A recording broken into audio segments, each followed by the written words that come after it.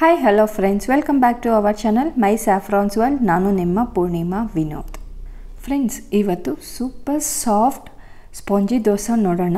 ಮೇಲೆ ಸಾಫ್ಟಾಗಿ ಕೆಳಗೆ ಕ್ರಿಸ್ಪಿಯಾಗಿ ಡಿಫ್ರೆಂಟಾಗಿ ದೋಸೆ ಮಾಡ್ಕೋಬೇಕು ಅಂದರೆ ಈ ರೆಸಿಪಿನ ಫಾಲೋ ಮಾಡಿ.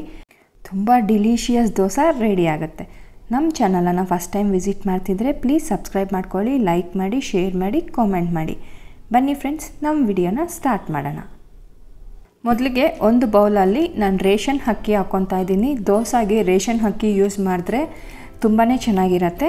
ನೀವು ಯಾವುದೇ ಮೆಷರ್ಮೆಂಟಲ್ಲಿ ಹಾಕ್ಕೊಳ್ಳಿ ಫೋರ್ ಕಪ್ಸಷ್ಟು ರೈಸು ಎರಡು ಕಪ್ಪಷ್ಟು ಇಡ್ಲಿ ರೈಸ್ ಹಾಕ್ಕೊಳ್ಳಿ ಇಡ್ಲಿ ರೈಸು ಎರಡು ಕಪ್ಪು ಉದ್ದಿನಬೇಳೆ ಮುಕ್ಕಾಲು ಕಪ್ಪು ತ್ರೀ ಫೋರ್ತ್ ಕಪ್ಪು ಉದ್ದಿನಬೇಳೆ ಅವಲಕ್ಕಿ ಒಂದು ಕಪ್ಪು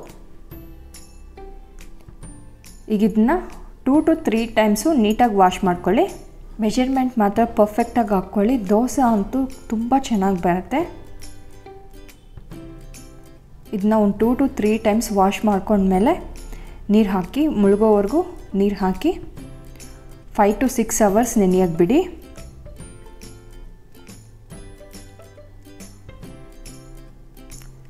ಫೈವ್ ಟು ಸಿಕ್ಸ್ ಅವರ್ಸ್ ನೆಂದಾದಮೇಲೆ ಇದನ್ನ ಗ್ರೈಂಡರ್ಗೆ ಹಾಕ್ಕೊಳ್ಳೋಣ ನಿಮಗೆ ದೋಸೆ ಸಾಫ್ಟಾಗಿ ಬೇಕು ಅಂದರೆ ಗ್ರೈಂಡರ್ಗೆ ಹಾಕ್ಕೋಬೇಕು. ತುಂಬ ಡಿಫ್ರೆನ್ಸ್ ಇರುತ್ತೆ ಗ್ರೈಂಡ್ರಲ್ಲಿ ಮತ್ತು ಮಿಕ್ಸಿಯಲ್ಲಿ ರುಬ್ಬೋದ್ರಿಂದ. ಈ ದೋಸೆ ಗ್ರೈಂಡರಲ್ಲಿ ಹಾಕ್ಕೊಳ್ಳಿ. ನೋಡಿ ಈ ಥರ ನುಣ್ಣಗೆ ರುಬ್ಕೋಬೇಕು. ನೀರು ಸ್ವಲ್ಪ ಕಡಿಮೆ ಹಾಕ್ಕೊಂಡು ರುಬ್ಕೊಳ್ಳಿ. ನೀರು ಜಾಸ್ತಿ ಹಾಕಬಾರ್ದು. ಈಗ ಇದನ್ನ ಒಂದು ಬೌಲಿಗೆ ತಗೊಳ್ಳಿ. ಯೂಶಲಾಗಿ ಮಸಾಲ ದೋಸೆಗೆಲ್ಲ ಮಿಕ್ಸಿಯಲ್ಲಿ ಹಾಕ್ಕೊಂಡ್ರೆ ಕ್ರಿಸ್ಪಿಯಾಗಿರುತ್ತೆ ಈ ದೋಸೆಗೆ ನೀವು ಗ್ರೈಂಡ್ರೇ ಯೂಸ್ ಮಾಡ್ಕೋಬೇಕು. ಈಗ ಇದನ್ನ ಒಂದು seven to eight hours ferment ಮಾಡೋಕ್ಕೆ ಬಿಡಿ. ಇದು ಸೆವೆನ್ ಟು ಏಯ್ಟ್ ಅವರ್ಸ್ ಚೆನ್ನಾಗಿ ಹಿಟ್ಟು ಉಳಿದಿದೆ. ಈ ಹಿಟ್ಟು ಸ್ವಲ್ಪ ಗಟ್ಟಿಯಾಗಿ ಇರಲಿ, ಜಾಸ್ತಿ ನೀರು ಹಾಕೋಕ್ಕೆ ಹೋಗಬೇಡಿ. ಹಿಟ್ಟೆಲ್ಲ ಚೆನ್ನಾಗಿ ಮಿಕ್ಸ್ ಮಾಡ್ಕೊಳ್ಳಿ. ಕನ್ಸಿಸ್ಟೆನ್ಸಿ ನೋಡ್ಕೊಳ್ಳಿ. ಸ್ವಲ್ಪ ನೀರು ಇಡ್ಸತ್ತೆ. ಸ್ವಲ್ಪ ನೀರು ಹಾಕಿ ಮಿಕ್ಸ್ ಮಾಡ್ಕೊಳ್ಳಿ. ನಾನು ಅರ್ಧ ಹಿಟ್ಟು ಮಾತ್ರ ಈಗ ಹಾಕ್ಕೊತೀನಿ. ಇನ್ನು ಅರ್ಧ ಹಿಟ್ಟು ಎತ್ತಿಡ್ತೀನಿ. ಅರ್ಧ ಹಿಟ್ಟು ಆಗೋ ಅಷ್ಟು ತೋರಿಸ್ತಿದ್ದೀನಿ ಈಗ. ಅದಕ್ಕೆ ರುಚಿಗೆ ತಕ್ಕಷ್ಟು ಉಪ್ಪು, ಒಂದು ಸ್ಪೂನ್ ಸಕ್ಕರೆ, ಒಂದು ಸ್ಮಾಲ್ ಕಪ್ ಅಷ್ಟು ಗಟ್ಟಿ ಮೊಸರು ಸೇರಿಸ್ಕೊಂಡು ಮಿಕ್ಸ್ ಮಾಡ್ಕೊಳ್ಳಿ.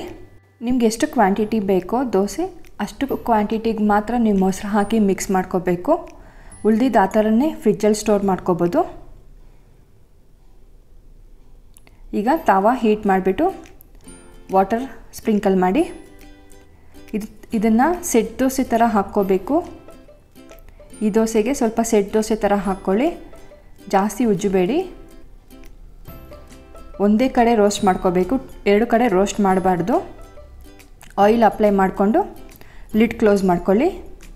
ನಿಮಗೆ ಲಿಡ್ ಕ್ಲೋಸ್ ಮಾಡಿಲ್ಲ ಅಂದರೆ ಆ ಬಬಲ್ಸ್ ಬರಲ್ಲ.